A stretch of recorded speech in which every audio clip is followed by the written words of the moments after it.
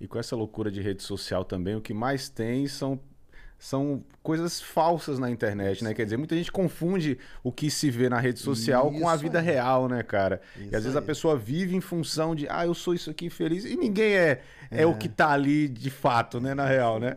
Eu conheço várias pessoas assim. É, meu, Conheço várias. que na rede social é mil alegrias, não sei o quê. O que eu vejo de mentira em rede social. É. Só que eu não tenho tempo pra ficar em rede social 24 horas, né? Porque eu tô me dedicando a outras coisas. Sim.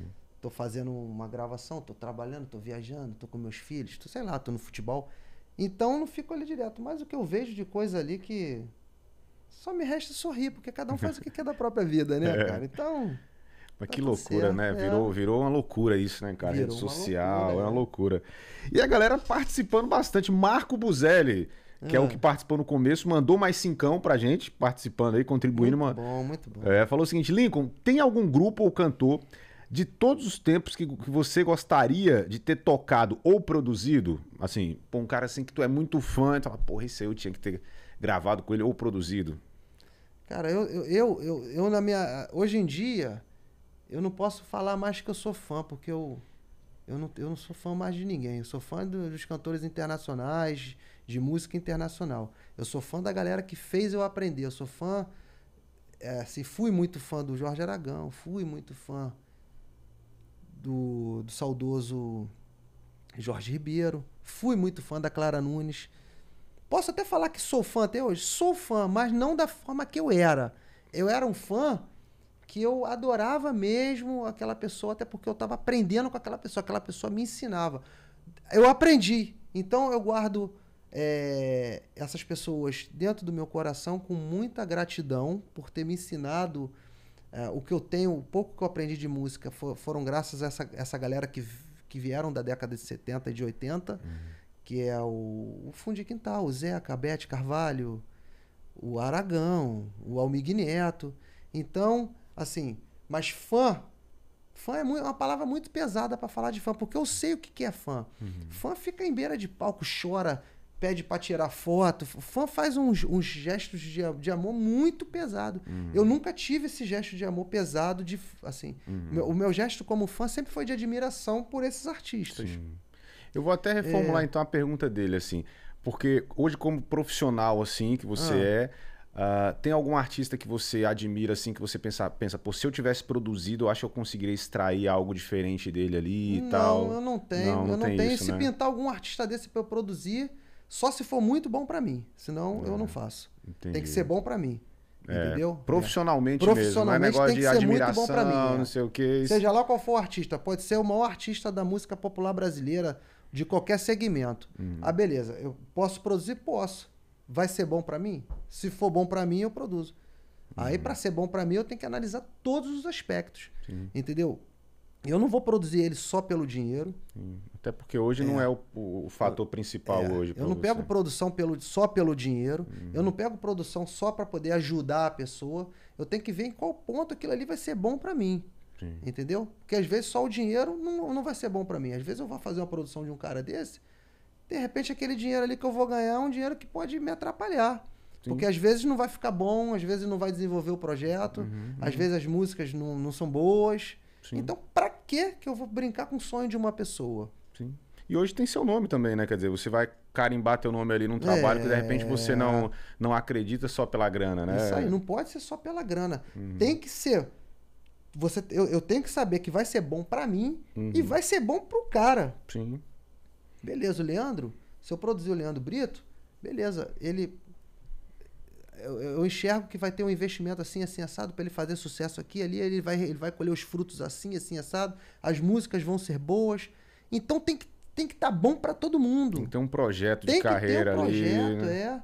Tem que ter um projeto. Eu não posso chegar e fazer só pelo dinheiro, porque muita gente, às vezes, na maioria das vezes, é só Uhum. pra fazer pra- só para grana, só pela grana.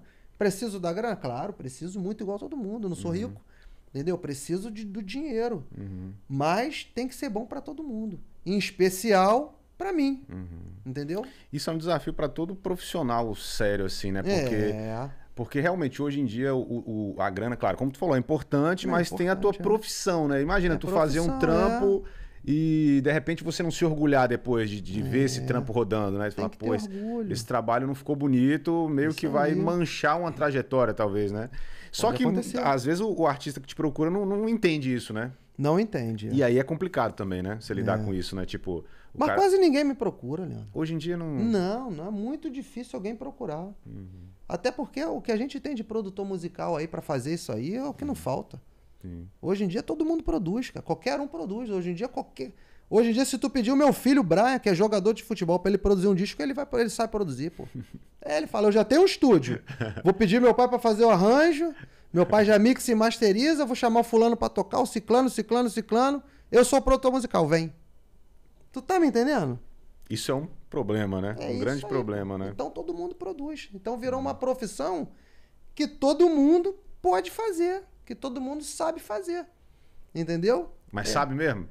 Aí, aí só quem sabe são eles, né? Se sabe mesmo, né, velho? Porque é. pra fazer. Eu, eu, eu, eu admiro os produtores musicais que fazem de verdade, que sabem, que sabem do cabo que tá usando até a mixagem que tá fazendo, no plugin que tá usando, do arranjo que fez, das notas. da- O produtor musical ele tem que ter um leque também da produção musical na mão. A produção Sim. musical é um leque de coisas. Uhum. Se você não tiver esse leque, você pode ser um produtor musical. Mas dentro, dentro de você, você vai parar pra pensar legal e falar: será que eu sou produtor musical mesmo, velho? Eu não sei fazer isso. Não sei fazer isso. Eu chamo fulano pra fazer arranjo. Eu não faço as músicas, eu tenho que pegar música, eu, eu não toco, eu tenho que chamar fulano pra tocar, ciclano, ciclano. Beleza, tu só senta atrás de uma cadeira e conta três, quatro. Aí beleza, tu é o produtor musical. É- é- essa é a realidade da música hoje. Entendeu? Aí beleza, aí tu pega o produtor musical do Michael Jackson lá, o Quincy Jones. Porra, mano.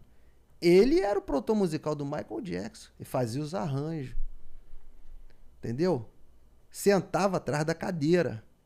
Mixava junto com os engenheiros, fazia tudo, ia de cabo a rabo no projeto, criava tudo. Hoje em dia, você um produtor musical hoje em dia, ele contrata tudo, terceiriza a porra toda. Na maioria das vezes, por quê? Porque é mais fácil e porque não sabe fazer. Entendeu? Mas, é, mas não muda em nada na vida de ninguém, né? O importante é estar trabalhando. Se isso está Sim. trabalhando, está levando sustento para a família dele, eu acho maravilhoso.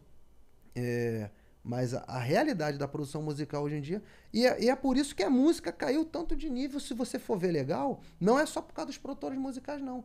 Esses programas de computador que a gente tem hoje em dia, cara, eu conheço, eu conheço um monte de criança que não entende nada de música e já faz a música. O programa já vai fazendo tudo, a criança já vai fazendo, todo mundo vai fazendo. Ou seja, a pessoa não sabe, às vezes, não sabe o que, que é a música de verdade, não estudou, não tem o conhecimento. Mas o programa faz a música toda.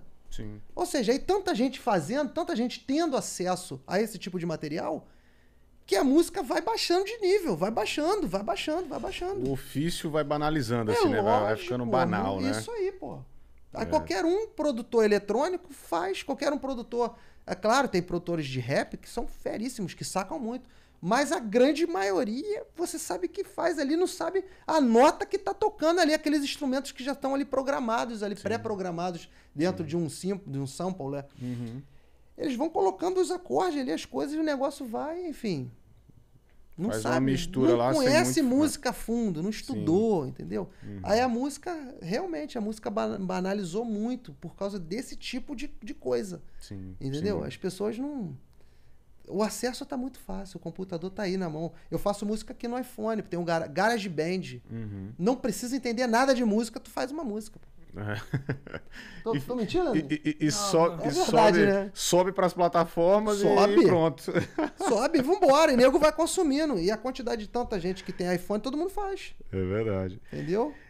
Você tem grupo de pagode, você canta e sonha em conquistar um espaço no meio da música, então se liga só nessa oportunidade. Se você tem grupo, você quer fazer um audiovisual bacana, quer aprender o que a gente faz no canal do Leandro Brito, que ajudou a impulsionar tantos trabalhos, a gente tem um curso aberto. Vê o link tá na descrição. Comunidade fora da média. Se inscreva lá pra gente poder passar pra você as dicas ali do YouTube. Se você quiser pegar os segredos, o link tá na descrição. Corra e aprenda através da comunidade fora da média.